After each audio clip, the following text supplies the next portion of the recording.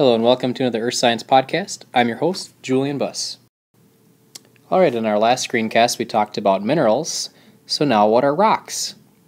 Here, this Minecraft character is holding diorite, I believe, and here's some andesite and granite. Alright, so rocks are naturally formed and they're made of minerals. Alright, so let's see some examples. Take a quartzite rock, is made from one mineral, quartz.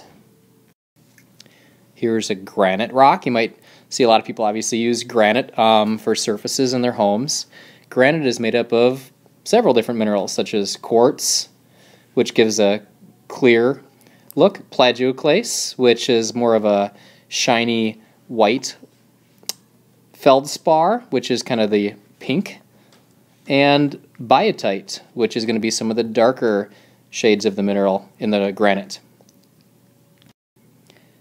Now let's look at um, an example that can be somewhat confusing. If you take andesite or diorite rocks, they're actually composed of the same three minerals, plagioclase, hornblende, and pyroxene.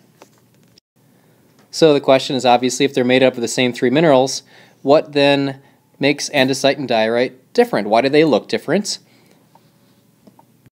All right, so let's look at how these two rocks cooled. Andesite formed as an extrusive igneous rock, meaning the magma turned into lava and then exited the planet's surface. And when that happened, obviously it cooled very quickly, and so the mineral grains within the andesite didn't have a lot of time to cool. They cooled very quickly and rapidly, meaning the minerals, the grains are very small because it kind of flash cooled.